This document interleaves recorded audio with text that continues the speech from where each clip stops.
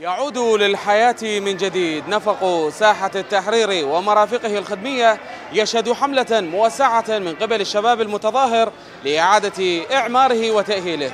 ما عجزت عنه الحكومة ومؤسساتها الخدمية في إعادة افتتاح هذا المرفق الحيوي تحت نصب الحرية وسط العاصمة بغداد.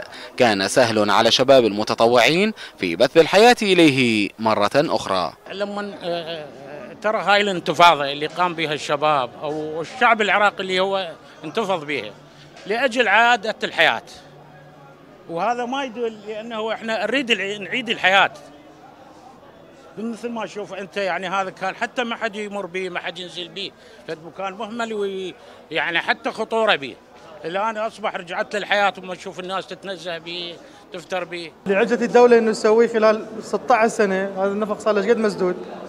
الشباب ما شاء الله هدا شوف من فنانين من رسامين حتى عازفين موجودين من غير اللي ينظفون حتى يعكسون في صوره حضارية للمجتمع. حملة ابتدأت بالتنظيف والتأهيل والرسم على الجدران بعد ترميمها وجمع النفايات المتكدسة في ممرات النفق وتنظيف حدائقه وتزيينها بالورود كخطوة لاحقة. إحنا نجيب أدواتنا الخاصة والصبغ اللي نحتاجه ونصبغ به يعني.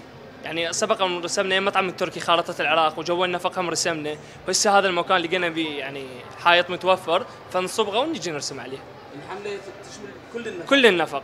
يعني حسب الرسامين متوفرين يعني البارحة كانوا أكثر.